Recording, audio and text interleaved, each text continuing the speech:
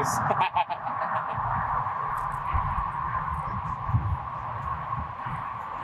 Don't hurt yourself. no. Oh! You should bat like that in real life. Maybe.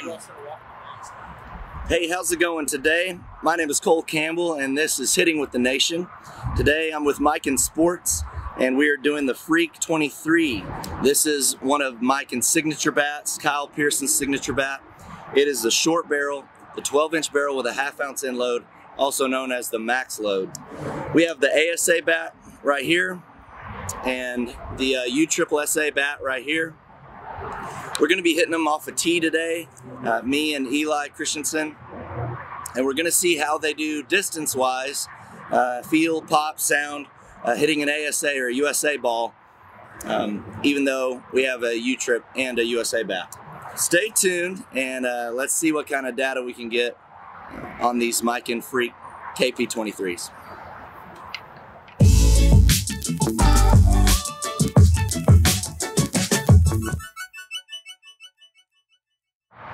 Put some swings on the U-Trip KP23.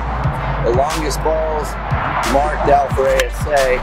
Picked up all the ones inside the fence. So the bats feel very comparable to each other. And weight, swing, through design. Oppo Taco? You can't hit it, Oppo. Not over the fence.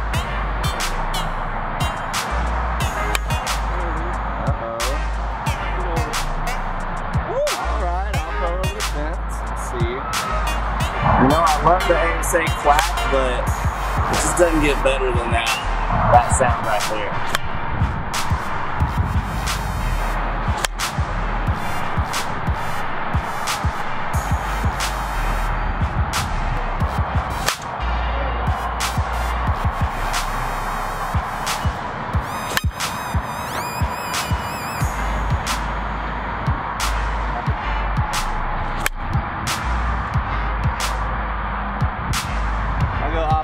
Match you.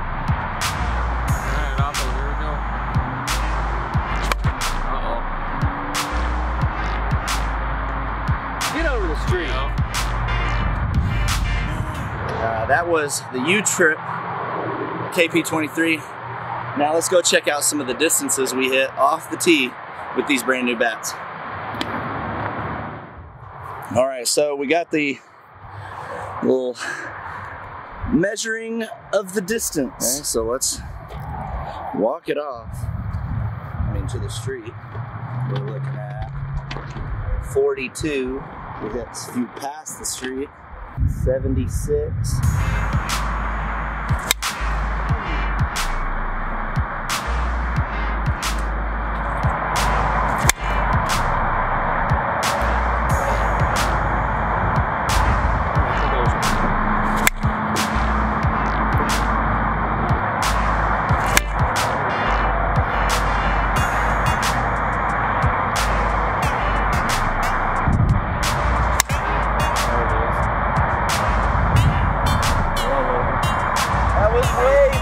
Than yours. I can do this pulling it.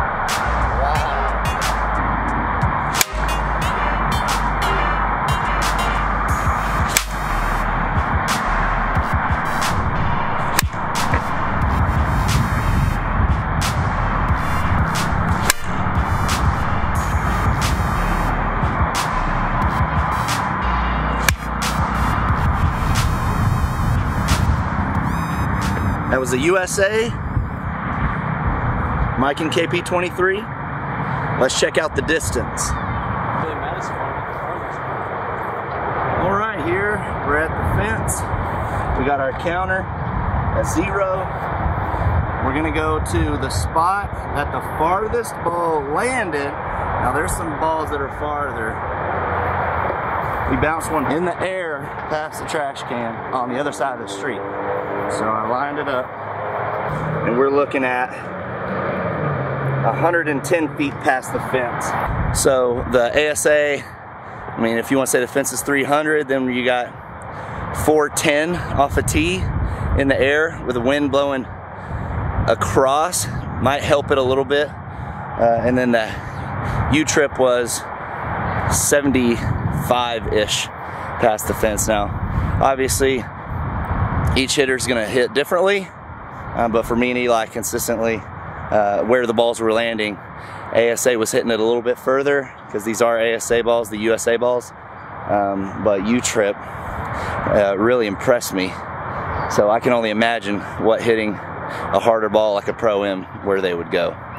So that's all for today. Please hit the like and subscribe button so you can see more of the videos coming up for the 2021 Worth and Eli.